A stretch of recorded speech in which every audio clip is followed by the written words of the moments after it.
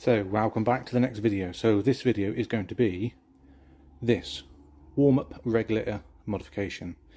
Now, the modification, I'm going to show you how to do it. You can Google it, you can find out, but I'll show you exactly how to do it. Now, adjusting this little puppy can give any good, good working engine 10 brake horsepower easily. The first we need to do is strip it apart. There we go. So now we've got it in a stripped down state. We want to focus on this part. Now, there's two ways you can do this. This is a proper way. You can do it on the car with this together, but we're going to drill a hole through this little cap so we can see through it, pretty much where that dot is in the middle. But if you drill through it and leave swarf from this inside here, you will end up splitting the diaphragm that sits around there. Now what we want to do is drill a hole straight through the centre of there.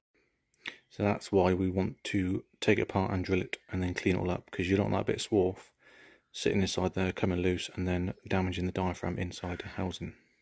So this is what we're looking to achieve. Once the hole's drilled in, we're going to be able to put our Allen key through there, and it is a 4mm Allen key that fits in that adjuster. Why are we doing this? So we've drilled a hole through the back of that, so we can adjust the Allen key. Now, the Allen key is this part here. Now this part has a centre spring, an outer spring, a little cone hat, and a little push rod. So as you can see from there, if we screw that Allen key in, it will raise the height of this. If we screw it out, it will, it will re reduce the height of that. Now that, when it's all together, sits in the centre of there, like so. So the pin sits in there, which is in part of that, which pushes on this. Now this is our important, this is the disc that sits on the back of this housing there. So that disc, just a very thin bit of metal really. That is what seals or allows the amount of fuel to go through the housing. So we can see we've got a centre orifice and an off centre orifice. Now if we look closer Probably can't see, but the centre one is raised. It's got a raised shoulder on it, which is the same height as this outer part. And the one up there is not raised. So the fuel comes in that top hole. So the fuel pressure comes in there and it sits round this circle. Now if that Allen key, that is screwed right in and that push rod is pushing fully on our metal disc. That in turn will completely block any fuel going out that hole. Now, with the pressure in there, the fuel pressure will push that disc off slightly, which is all relevant to do with the spring force on that.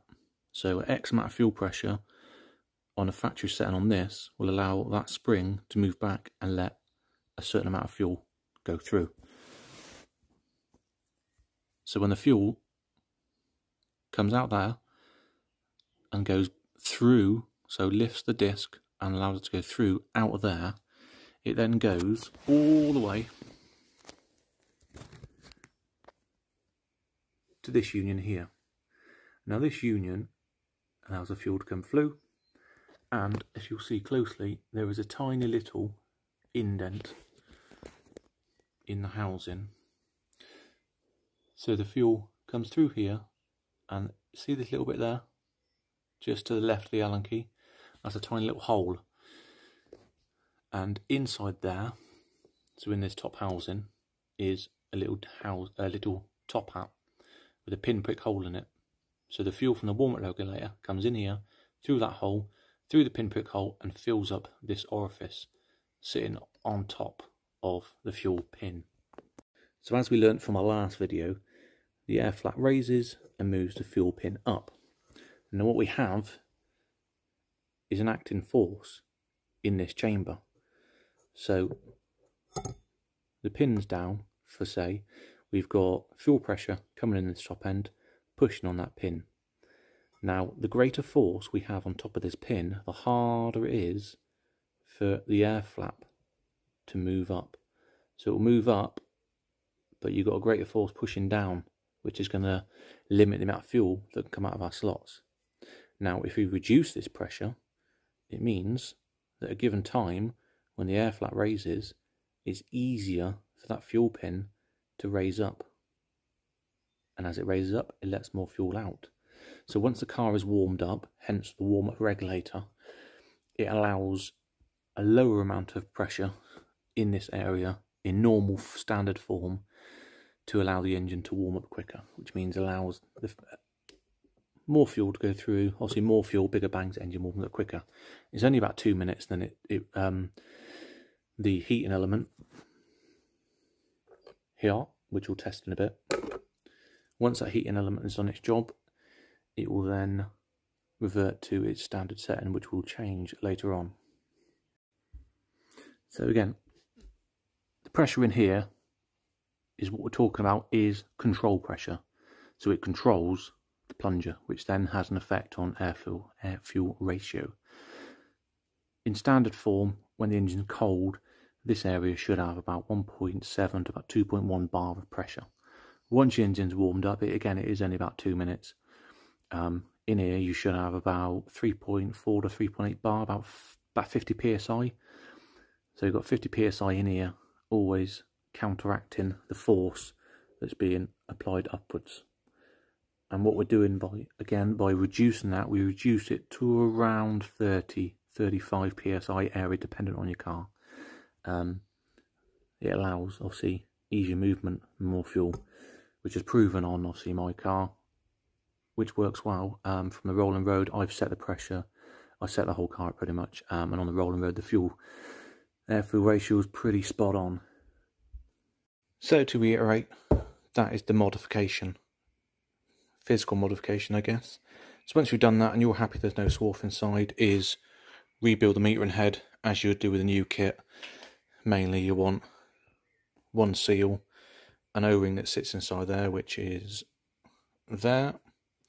Um, if that gasket is fine, then there's no need to change that. But depending on what kit you buy, you can change all of it. Um, again, we'll rebuild this with the kit we do, and we can also test this. Now, this is a simple way of testing it because it tells you on there. So the resistance across those two pins should be 21 ohms plus or minus 3%. So if we're getting 24 ohms, it's fine. If you're getting 28 ohms, it's not fine. But I've never found one of these that is defective yet. It's normally seals that are stuck in there uh, preventing fuel coming through. So we'll test this and we rebuild all that. And once we've done that, well, that'll be different because we're not really interested in the moment. Once we rebuilt that, that's fine, we can use it on something else. We know what it's doing there, but what is it actually doing with the car? So, by using our beautiful assistant here, we'll run her up, get the gauges on, and uh, obviously I've adjusted this one anyway, but I'll physically show you with the Allen key in there what the pressure is at cold, see it warming up. Once engine's warmed up, I'll actually adjust mine back and forth so you can see how the adjustment is acting on the gauge, as in raising pressure and lowering pressure. So here we are, back and ready with our beautiful assistant. We've got our gauges all set up, ready to rock and roll. And on the Golf, the warm-up regulator is sat down there, and on the XR3Is it's up this area, obviously different engine, um, and various other locations. So there we go, mine's modified, same detail. So all can do is let the car run up, and we'll see what the gauges are doing, and then once it's warmed up, I'll adjust that just back and forward to see, you so you can actually see what it's doing on the gauge. So the car's idling now from cold. You can see where we're at the gauge. It is sped up. You're sitting about one bar and a bit. As you can see, the gauge is rising as the engine's warming up. It literally, I think it was 2 minutes 15 ish, um, all the way up to where I've got it set, which is 3 bar. So again, it doesn't take long to get to its normal setting.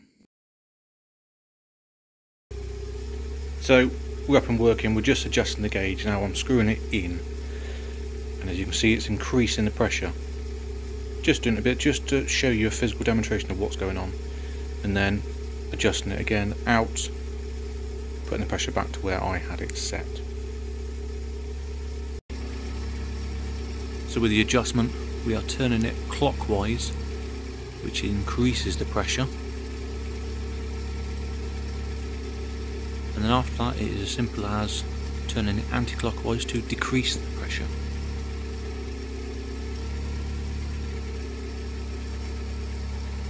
So with thanks to our beautiful assistant. I've shown you how to do the water regulator modification as in drilling the hole and the principle behind it, what we're actually doing. And I've shown you physically again with the engine running let it warm up. You can see literally two minutes if that. And it's up to where I've set it to. And again showing you where we can adjust it. So you screw it in clockwise increases the pressure and clockwise reduces the pressure. Mine set about 3 bar which is now where mine sits nicely. Um, every car is going to be different but generally you drop it down from 50 psi to about between 35 and 40 psi is where you want to be sat. Um, yeah 3 bar about 40 psi that's working perfectly in my car. Again the air fuel ratio um, on the rolling road are about 13 13 and a half I think at, at red line which is what you really want. So again hope you like the video. Any comments stick them in the comments. And if you could click subscribe got a lot of, lot of people watching the videos who don't subscribe. Give us a subscribe and you can keep up to date with all the other bits we're doing. See you in the next one